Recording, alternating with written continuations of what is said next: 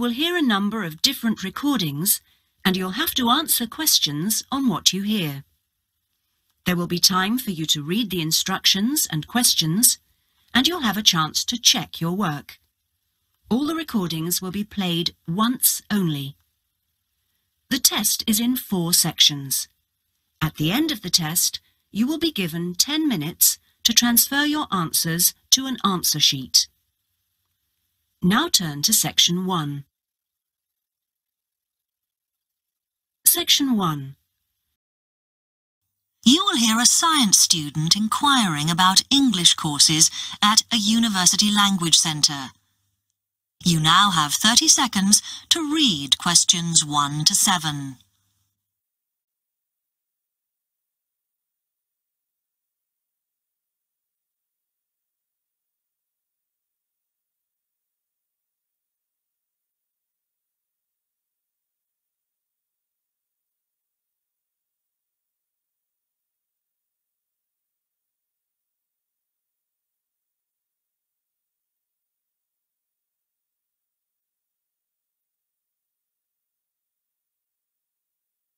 Hi, I've come to ask about the English courses you run for international students. Oh, right.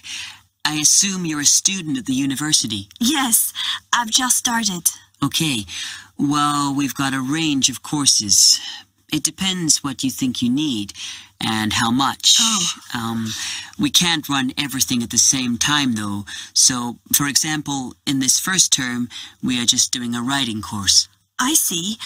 That sounds quite useful. What else is there? Um, some of the courses only run for single terms, and we tend to focus on what students have difficulty with. That means we don't usually do speaking courses, but next term you can do listening. Oh. That'll help you with lectures and things. Our provision is all based on what the majority of our international students need. So, is everything term-based? There's nothing that you run all year? Well, let's have a look. Yes, there is a class for vocabulary and grammar every term. That's for everybody, but it's split into three or four levels. And what about in the holidays? We don't do anything during the winter or spring break. Oh. But over the summer, there's just general classes because that's what most students want. Mm. A bit of everything. Mm-hmm. Okay, quite a variety then. Hmm. I'll uh, have a think about what I really need because I haven't got much time. Do you have about 20 students in each class, the same as our science seminars? We try to keep it at about 12 and certainly not more than 15. Mm-hmm. It's important for language classes. They're very different from your normal courses. Right. And how much are the classes? The rate varies depending on how many hours you attend, but you shouldn't have to pay. Usually, the department will fund you and even sort out which classes you need. Oh, brilliant. It would be quite useful for me to have a certificate to take back to my country. Do you put us in for exams? Yes, but we don't like them to clash with your main course exams in June, so we run them in May. Oh. That leaves you time for revision. Do I have to sign up for something now? I'm not quite sure what I want. Classes haven't quite started yet, so you've got time to decide what you do. All we insist is that you sign up before week five. That gives you about three weeks to decide. Okay. You now have 15 seconds to read questions 8 to 10.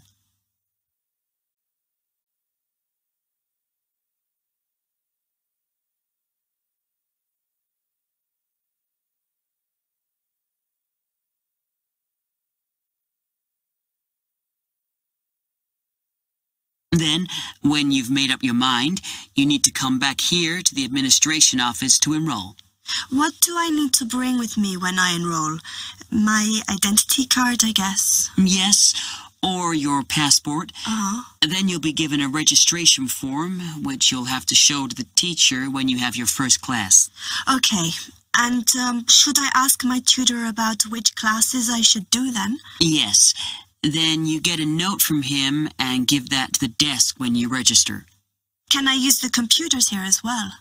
Yes, you'll be given a password when you go to your first class. So remember to bring a disk with you to save your work on, as you won't be allowed to save it on the hard drive. Okay. Will I need anything else? Dictionary? We've got loads of those here that you can borrow. But you'll need a notebook as we don't provide paper or files. Okay. Thanks.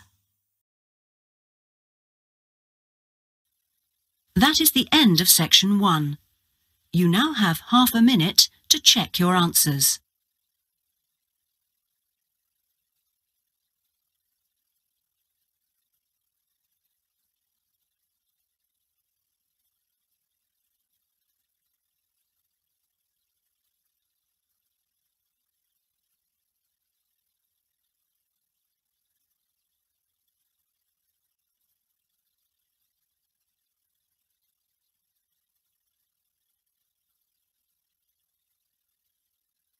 Now turn to section 2. Section 2. You will hear a man giving some information about transport in London. You now have 30 seconds to read questions 11 to 15.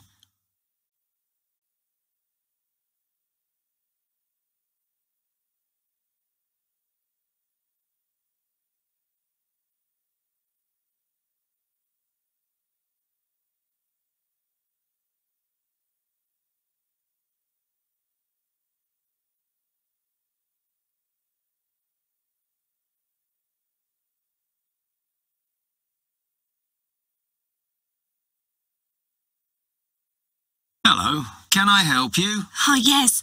I was wondering what the best way was for me to get around London. Well, there are a lot of possibilities.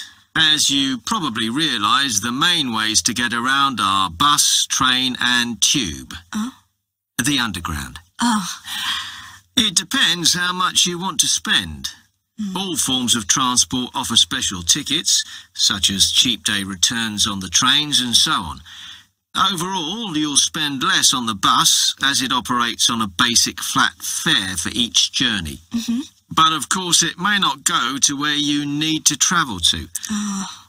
The mainline trains only operate in the outlying areas, though a few cross London, whereas the tube has stations which are placed in central areas of the city, close to the main sites and shops. Hmm. Obviously, there are more bus stops, uh, but you will probably have to change buses to get where you want, which can be inconvenient. you will find that the buses are mainly in the central areas, but some tube lines go quite a long way out of London, so you could use this for longer journeys. Mm-hmm. Having said that, the tubes do get very crowded, so you should use the train if you want to sit down. It does depend where you're travelling to. Well, I'm living on the outskirts, but I have to travel into London to college every day, and then around London when I'm here. Hmm. Okay, so time is going to be an issue for you. Hmm. The tube should be fast crossing London, but quite honestly, there are so many delays that it's not very efficient. Again, the train has fewer stops, so is probably your quickest option to get to and from college. Of course, which service you use might depend on how frequent it is. I mean, the trains might only be every 20 minutes or whatever, but a timetable is published to save you hanging around. Oh, There are a lot of tube trains at busy times of day, but fewer at other times.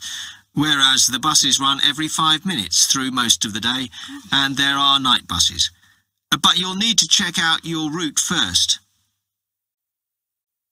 You now have 30 seconds to read questions 16 to 20.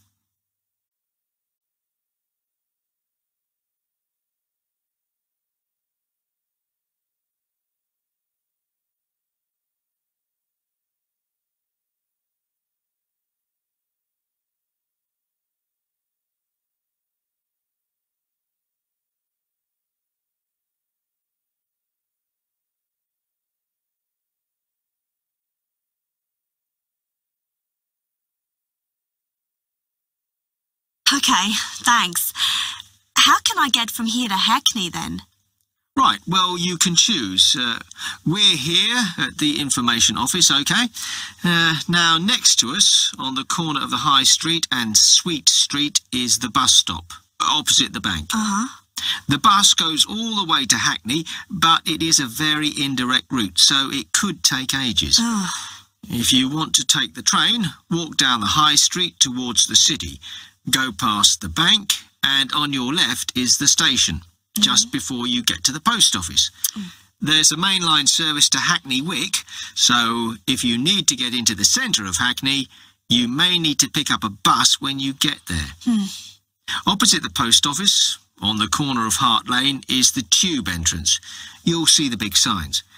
That's probably the best way to get there, though you may have to change. It's probably best if you go and get a travel card first. oh. To get to the ticket office, you go out of here onto the High Street. Then turn into South Street, and the ticket office is on your right opposite the cinema. Mm. Of course, you may decide it's quicker to take a taxi. but it's a long way, so I think it'll be very expensive. If you do want to get a cab, then the rank is outside here, just opposite the office.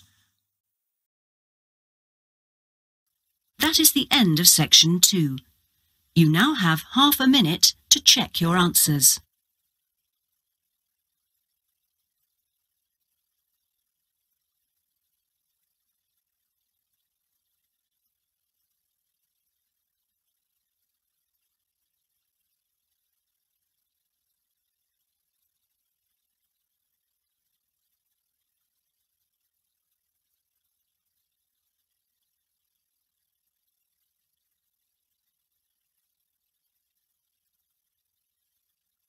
Now turn to section three. Section 3. You will hear two medical students, Caitlin and Hideki, discussing options for courses. You now have 15 seconds to read questions 21 to 23.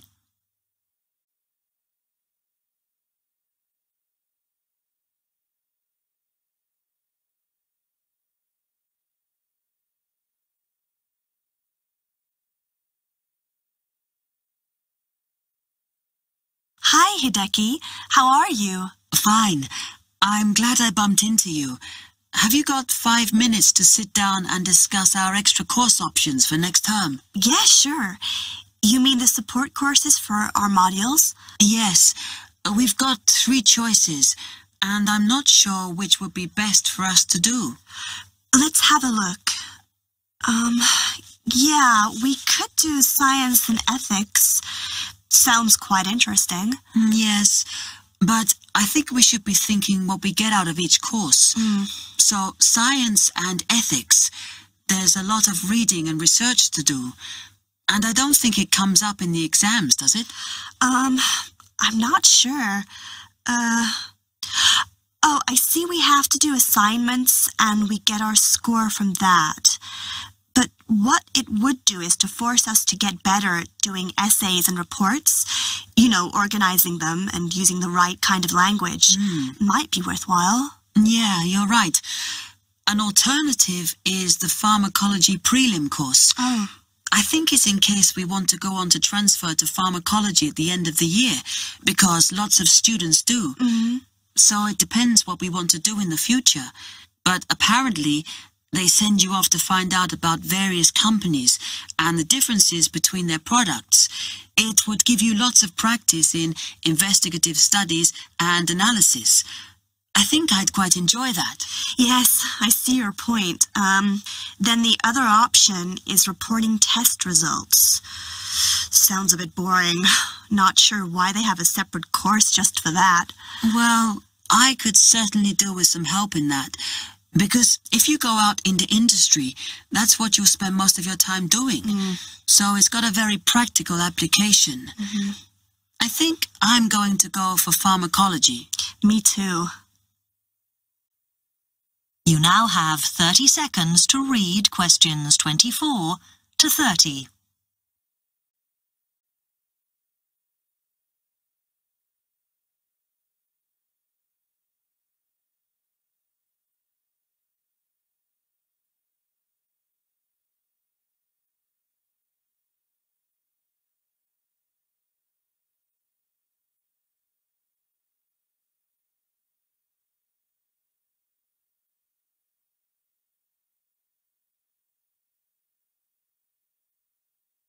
So let's have a look at it in more detail.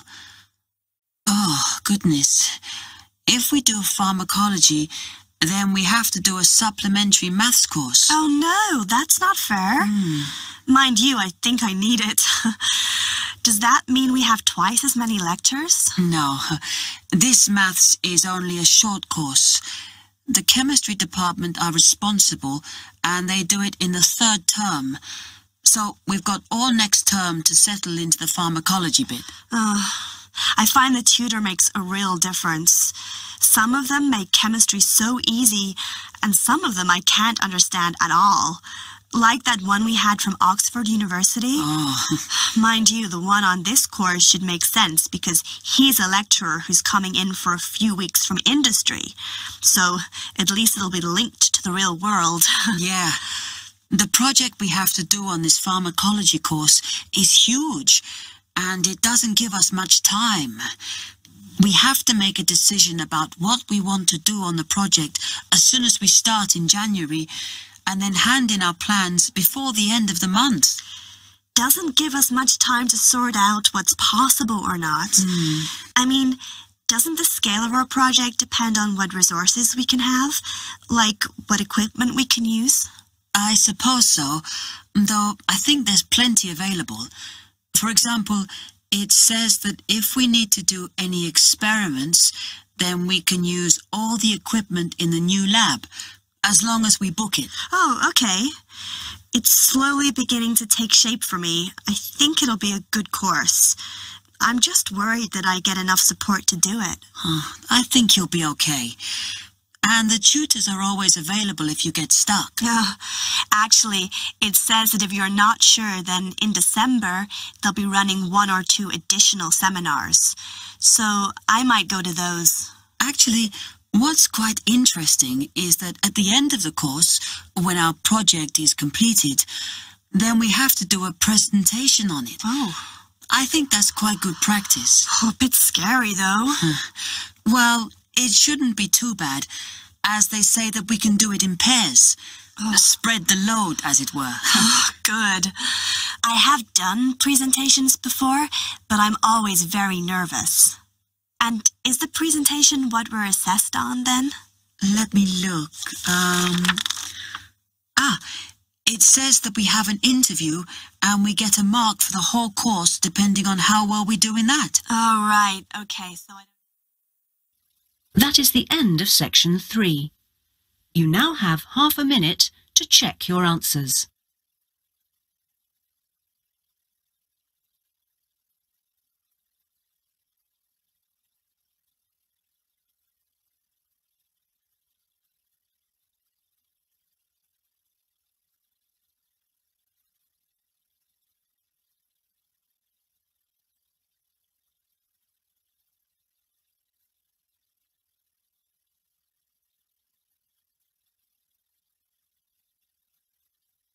Now turn to section 4. Section 4. You will hear part of a lecture on cities of the future. You now have 30 seconds to read questions 31 to 37.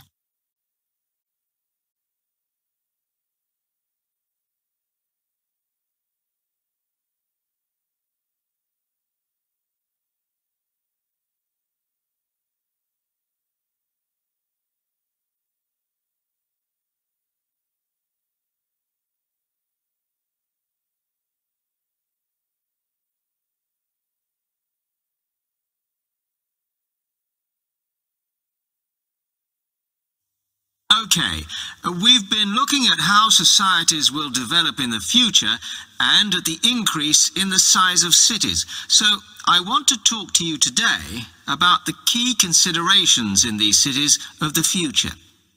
There are three key elements I want to look at, and these are the new features they will have, issues of size, and the main problems to be considered. First of all, individual transportation will be a big factor in these new megacities as public transport becomes unmanageable. There'll be a huge rise in the use of segways, which are personal transporters like motorized scooters. As a result, and partly also to reduce pollution, roads will be altered so that they are narrower and will take up less of a city's space than they do currently. Naturally, this is a major change to the infrastructure, and something that may hinder it is the huge amount of investment it will require. The next thing is, what is going to happen to the commercial areas? We do not want these to become even larger concrete jungles than they are at present, so we have to look at design. And current designs for city development include building gardens on the roofs of these buildings to make a more pleasant environment for workers. And you may think that these areas will expand to cope with increased commercial activity. In fact, the prediction is that they will cover one-fifth of the area that they do at present as we build upwards. The exception to this is shopping centres, which we predict will expand with more and more temperature-controlled malls. What may cause difficulties is that the superstores will be confined to the outer edges of the city, as they will be too big to fit into the new malls. Then, of course, there are the residential areas, and these will undergo their own changes. One particular development will be houses which are built from glass, as innovations in this material allow it to provide light without causing problems with temperature inside a building. The residential areas will not be allowed to expand without limit, as happens in some areas at present, and their size will be restricted to a population of 15,000. One issue, which has yet to be resolved, and I'm not sure it ever will be, is how we manage to house older residents. They will be increasing in numbers as time goes on. Finally, how will these cities live? We know we have limited energy sources, so what will we do? Well, something currently in development, which will be a feature, is that waste is going to become an energy source. For example, to provide gas in homes. Also, as new technology and systems are developed, we will find that energy plants will become smaller. Another energy source we could use, but one which raises issues of having enough space and too much noise, is wind farms. Because of the problems, I'm not convinced these will be the grand solution to our energy problems that we thought they were going to be.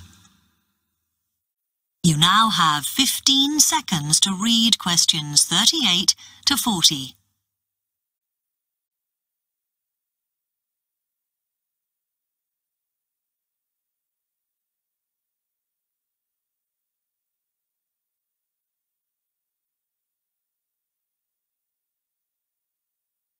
Now, moving on to looking at the social aspect of cities, we need to look at housing and how people will live.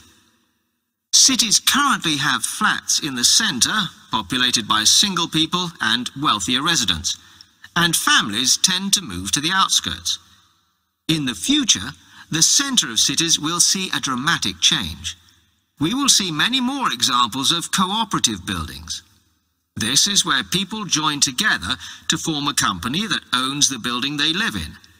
And despite continuing shortages, there will also be a rise in the provision of retirement homes in city centres so that the elderly can have easy access to hospitals and shops. Recently, we have seen a levelling off in the growth of private housing, and I think that will not change. But we are likely to see more social housing, as far fewer people will be able to afford to own their own homes. Okay, now, if anybody has any... That is the end of section 4. You now have half a minute to check your answers.